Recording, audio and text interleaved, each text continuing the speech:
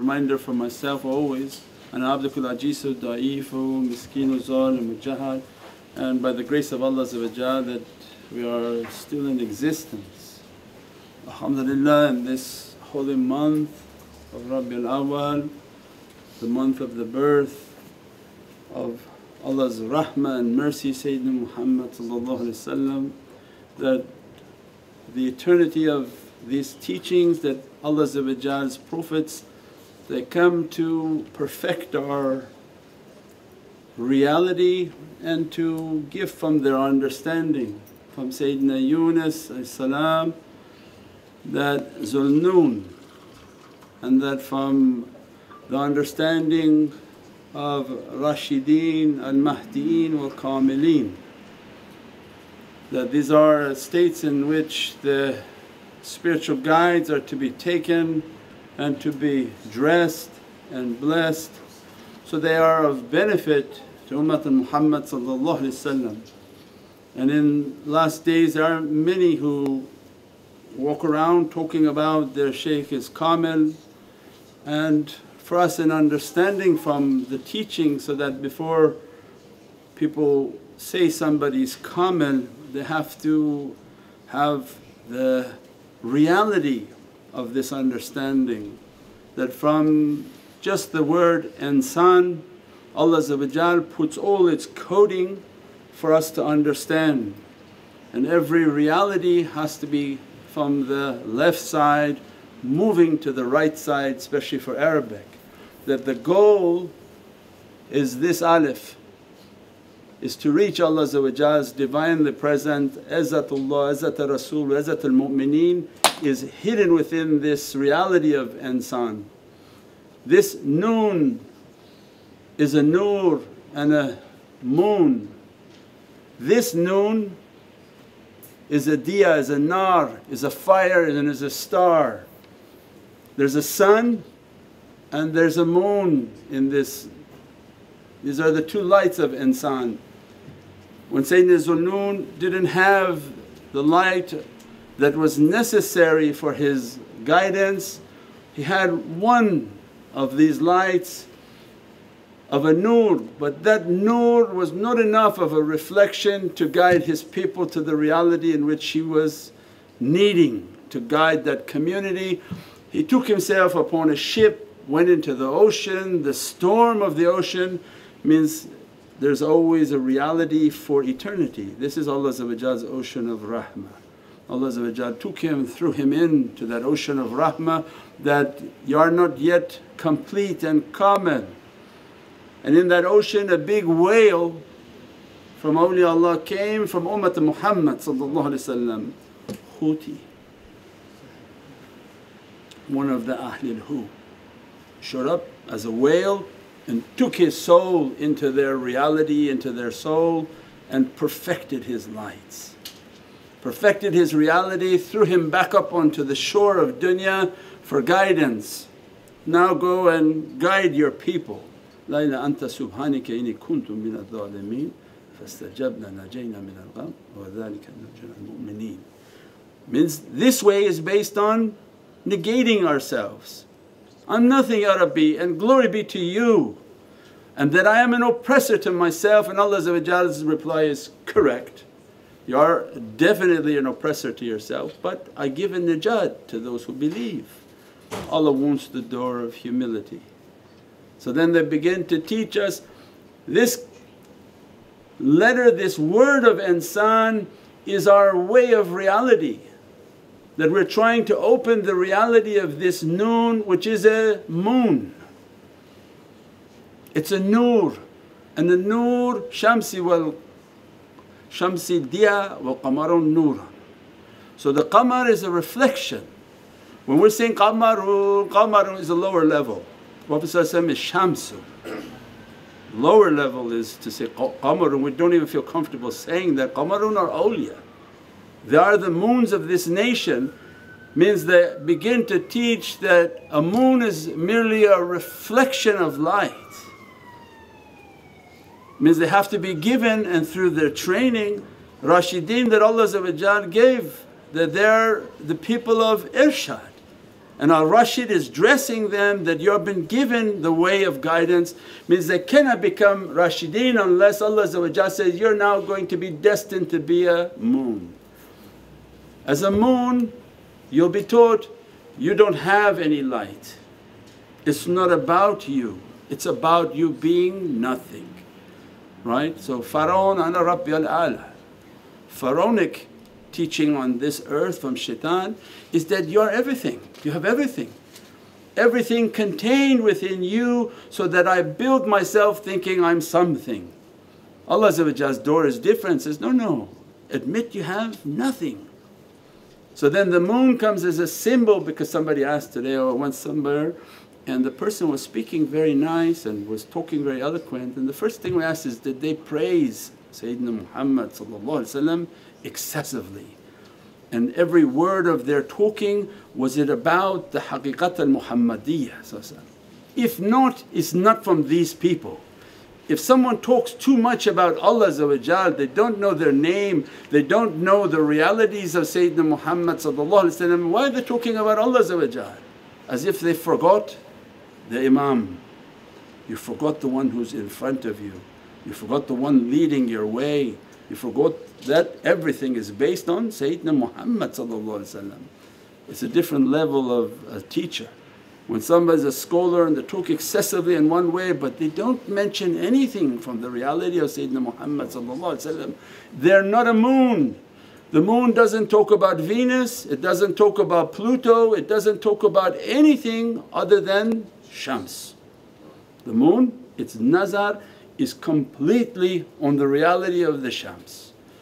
As a result of how strong their firasal and their qadam and their path is and their istiqam, the firmness of their path is going to be how much light and power they're able to reflect from the presence of the sun. And that's why Prophet described, I am uh, my companions are all stars. Why? Because Prophet is hinting, I'm the star maker. If all my companions are stars, then you better believe I'm the one who makes stars. Is the reality in which He brings this creation into becoming Shams. Shams is a diya. When Nabi Musa wanted to, to reach to the fire, the word in Qur'an is a diya. Diya is a fire, is a divine light that must be struck. So it means the reality of fire and diya is a sun, is a star. So Prophet was teaching at that time that stars and planets are different. A star is a fire, it's gaseous, it lost all its mass and it's an eternal flame burning, burning, burning. So there must be a star lit in the believer for this insan to work, the heart must be lit he must be following these real insan kamil whom dressed them, blessed them and lifted them up. And then they begin to teach your life has to be the outer noon that you have to take a path in which to achieve nur. And that nur can only be achieved like the moon, take your beating, take your testing, take everything that they throw at you and remain silent and calm patient and calm. Every difficulty in life the moon is looking at you. That's why when they want to make du'a they can ask for the intercession of the moon. As soon as you see the moon they say recite Fatiha. The moon is a maqam, not to the moon itself, the maqam in which it represents. The first reflection of that month, as soon as they see it, they recite Sunnat al Fatiha, the Ya Rabbi, grant me the intercession of that maqam. Everything here stands for something. Wajibalan autadan. The mountains are representing the autads of this earth, the awliya that keep everything firm.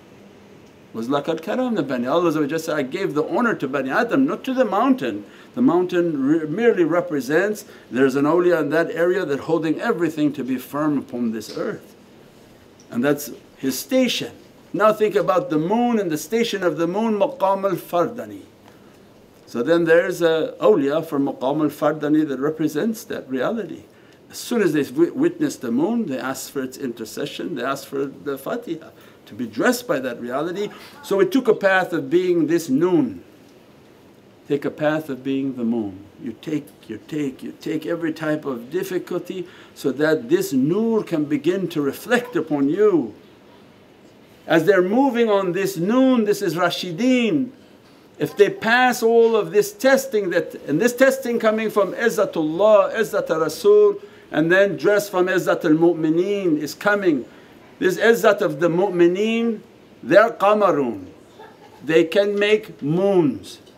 Means if you follow them they teach you on how to take the difficulty, take the difficulty, have the best of character. That's why tariqah you don't complain to anyone. You don't sit with another student and begin to complain to them.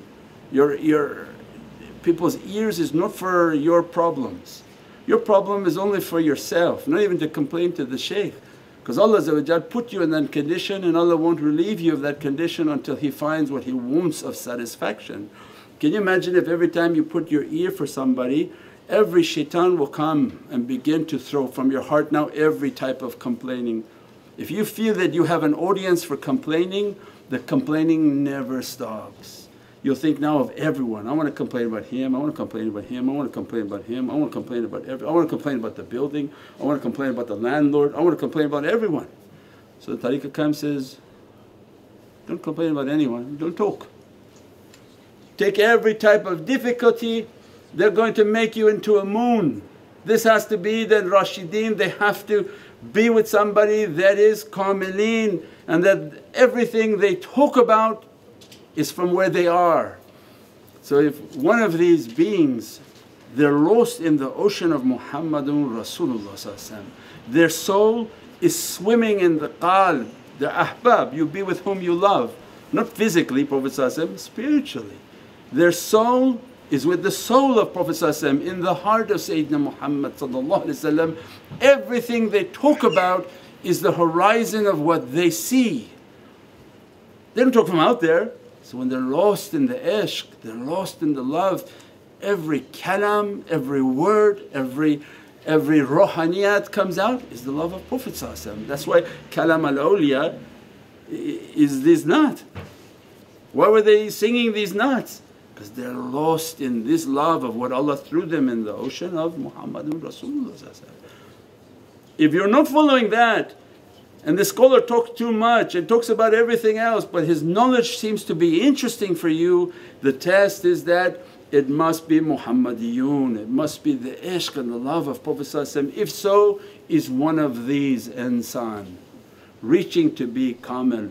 There is no one kamil but Prophet and sana kamil is that everything exists within the reality of Prophet and that was the hadith of Sayyidina Uwais al-Qarani and Imam Ali.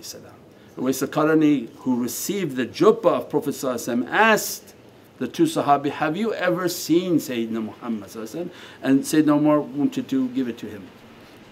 So do you know who we are? we spent all our life in every battle and Imam Ali said, no I think he's asking us a different question. And out of adab Imam Ali I said, I saw him once that we were fixing the kiswa of the Kaaba and I lifted Prophet as soon as I lifted the whole universes appeared to me. The Prophet vanished and all the galaxies and all of Allah's creation existed within the being of Sayyidina Muhammad I saw and I looked and I looked all the way up to the neck of Prophet above that Arsh Rahman and he stopped talking. And Sayyidina Wais Qarani said, yes you have seen it. Means they wanted to bring the haqqaiq of insana kamil out. That everything is in Muhammadun Rasulullah and Allah La ilaha illallah by virtue of the La ilaha illallah means nothing is with it. There's no partner with Allah Allah's izzah and might is the power of Muhammadun Rasulullah So it means everything is existing within the soul of Prophet Everything from the light of Prophet came into existence. And that's the hadith of Jabir that what was the first thing created Ya Sayyidi Ya Rasulullah said, the light of your Prophet. This light of, of the messenger that there was no throne, there was no Kaaba, there was no Bayt al-Ma'mur, there was no angel without the light of Muhammadun Rasulullah and Allah's izzah and might and zikr is the power of it. And that's why Allahumma salli ala Sayyidina Muhammad wa ala ali Sayyidina Muhammad even the salawat on Prophet is Allah's zikr and might upon everything. So it means that these people must be taking a path. If they're going to be Rashideen and rightly guided and given irshad, Allah is going to take them on a path of the moon. They're going to be crushed and crushed and given khuluqul the best of character to inherit from Prophet Adabana Rabbi fa ahsanum fi ta'tib. Prophet's only claim is ahsana Rabbi. Adabana Rabbi fa ahsanum fi ta'tib. That Allah has given me the best of character, perfected my, my character and that's my only claim for my nation. So means this is the stage of receiving this noon. Then these Mahdiin, that same shaykh has to be dressed for Mahdiin in which he has to dress the student from this sir, from this secret. This secret that is the center of insan and that he has Nur al-Anwar wa Sirat al-Asrar because the malakut is everything.